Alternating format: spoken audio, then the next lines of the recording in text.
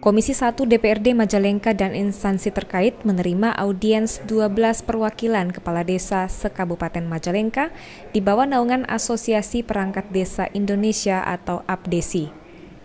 Para kepala desa menyampaikan enam poin untuk dilakukan kajian bersama dengan wakil rakyat dan instansi terkait atas situasi terkini pasca pandemi COVID-19.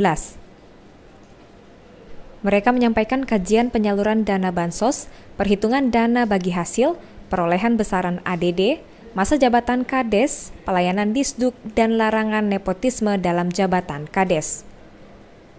Para kepala desa meminta dinas yang hadir untuk menjelaskan permasalahan yang dihadapi saat ini, sehingga tidak mengurangi kepercayaan di masyarakat.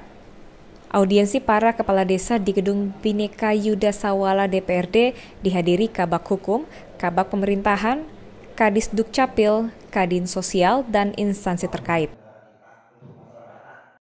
Terkait masalah perhitungan DBH, termasuk juga enggak, termasuk perhitungan ADD yang disinyalir berkurang, konotasi awalnya kan salah pemahaman bahwa seolah-olah berkurang itu karena hal-hal yang memang belum dipahami tapi setelah diberikan penjelasan bahwasanya karena ada rumus tersendiri bahwa ADD itu dihitung dari dana perimbangan yang memang berkurang hmm. diambil dengan dana alokasi khusus hmm. dikalikan 10 persen hmm. sehingga nilai daripada akhirnya itu selalu bergantung kepada nilai eh, dana perimbangannya sendiri dan hmm. juga dana alokasi desa yang eh, alokasi khusus yang memang hmm. tidak konstan artinya oh, gitu. selalu berubah mengikuti eh, dinamika seperti sekarang kan sudah menjadi rahasia umum terkait iya. masalah kopi. Okay. Itu dari Majalengka, Jawa Barat, Edo Ruspendi, Tribrata TV, Salam Tribrata.